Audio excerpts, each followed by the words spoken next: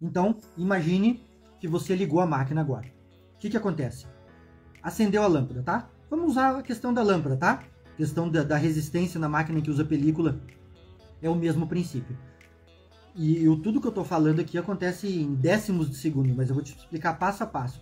Se você entender isso, você nunca mais vai ter dificuldade em resolver problemas no fusor. Códigos de erro do fusor, identificar a lâmpada, termistor, medir, você nunca mais vai ter essa dificuldade. Você ligou a máquina, é, a placa lógica da máquina manda um sinal para o fusor. Primeira coisa, né? Primeira coisa de tudo, a máquina vai identificar se todas as tampas estão fechadas, por questão de segurança. Todas as portas, senão ela vai dar lá, tampa frontal aberta, gaveta, ela dá gaveta sem papel, ela vai, vai rodar do mesmo jeito. Vai dar tampa traseira aberta, entendeu? Se tiver alguma tampa aberta, ela não aciona. Estão todas as tampas fechadas, tá? Todas as tampas fechadas, daí acende a lâmpada. No momento em que acende a lâmpada, os termistores aqui começam a fazer a leitura de temperatura. Só que os termistores não trabalham com graus, eles não são termômetros, entendeu? Eles são sensores baseados em resistência. Todo termistor funciona como? Ele tem uma alta resistência, conforme é fornecido calor para ele, conforme ele vai recebendo calor, eles vão baixando a resistência.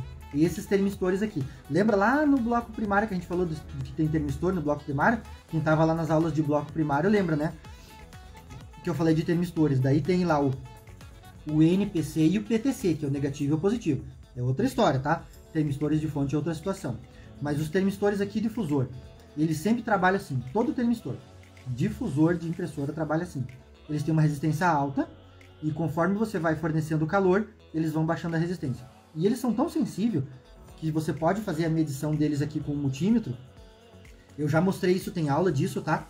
É, você coloca o multímetro e encosta o dedo assim em cima do termistor, ele já vai baixando a resistência dele. Você, daí você pega sopra ele em cima assim, ele já começa a esfriar e ele já sobe a resistência dele. Ele é super sensível ao termistor, tá?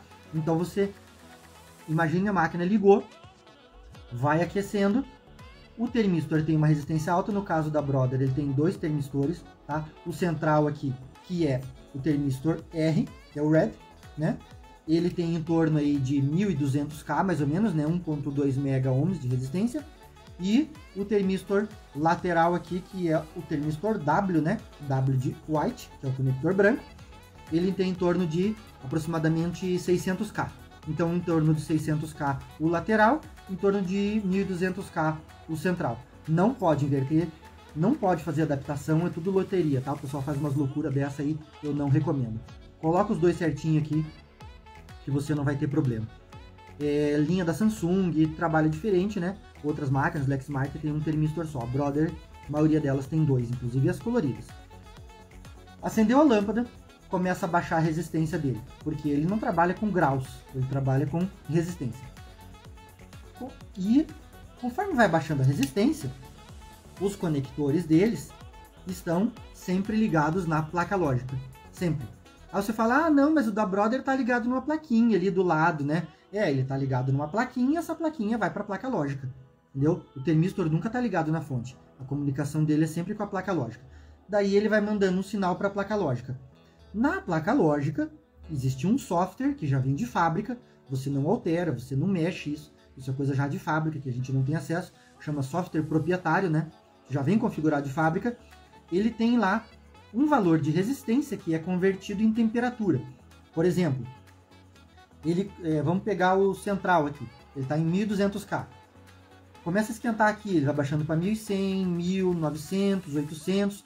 Quando chegar lá, aproximadamente em torno de, por exemplo, tá?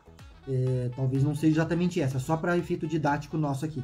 A resistência do central aqui, do R aqui, lá na placa lógica chegou em 700K. Quando chega em 700K, a máquina já tem lá no chipset dela, lá no software proprietário dela memorizado, que 700K equivale a 180 graus, porque é o valor médio de temperatura que chega uma lâmpada dessa aqui, em torno de 180 graus.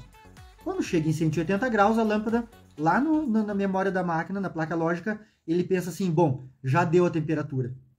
Entendeu? Ele já tem memorizado isso. E daí, imediatamente, vai acompanhando a linha de raciocínio imediatamente ele manda um sinal para o fotoacoplador Tá? Ele manda um sinal pela placa lógica que está vindo aqui, ele manda um sinal para a fonte aqui, para o fotoacoplador, que ele está desabilitado, né? Então ele ativa o fotodiodo e manda um sinal dizendo, ó, corta porque já deu a temperatura. E daí o fotoacoplador corta o sinal de alimentação do tri aqui da fonte. Ele corta esse sinal que ele está polarizando, né? Ele está polarizando o gate do tri aqui, uma das, das pernas do tri aqui, que é o gate. Ele está polarizando esse, ele corta. Ele corta o sinal do gate. A partir do momento que ele corta o sinal do gate no tri aqui, está exatamente do lado aqui, o conector da lâmpada ele desliga. Tá? Então tudo isso acontece instantaneamente. Aí o que acontece? A lâmpada aqui no fusor apaga. Tá? A lâmpada aqui no fusor apaga. Aí o que, que acontece? Tá rodando a máquina, o cliente está mandando impressão, passando papel. A tendência é fazer o quê? A temperatura baixar. Mas não pode baixar a temperatura. Se baixar a temperatura, vai começar a ter problema no fusor, no, papel, na impressão. Você vai passar a mão, o usuário vai passar a mão, vai soltar o toner na mão começa a baixar a temperatura, que vai acontecer com o termistor, lembra? A resistência do termistor vai subir. Vai subir, porque baixa a temperatura, a resistência sobe. Daí, isso aqui está conectado na placa lógica, ele informa lá, daí estava lá em 700K, chegou em 900K.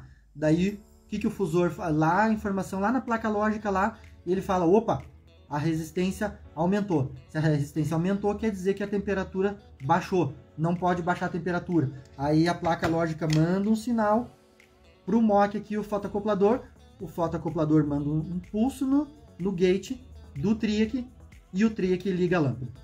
E fica esse trabalho, a lâmpada acende, apaga, acende, apaga, que é o que você olha. Eu já é, mostrei também isso em aulas nossas, em vídeos aqui, né? É, com a tampa aberta, né? Tapiei a tampa fiquei mostrando, ó. Quando liga a máquina, nunca pode já ligar a máquina e já acender a lâmpada se você liga a máquina e já acende a lâmpada instantaneamente, tem alguma coisa errada. Ele não está fazendo o controle correto, leva alguns segundos. Aí a lâmpada acende, tem máquina que varia ali de 15, se a máquina está fria, né? Considera a máquina fria, gelada. Média ali de, de 15 a 20 segundos ele já aqueceu, tem que apagar. Aí leva ali uns 2, 3 segundos, acende de novo, daí apaga de novo. Daí acende de novo, apaga de novo, tá? Então, esse é o conceito importantíssimo de você entender esse é feito o controle do fusor e ele está aqui no bloco de controle, tá? É o único componente da fonte que é alimentado direto pela entrada é a lâmpada do fusor, é único.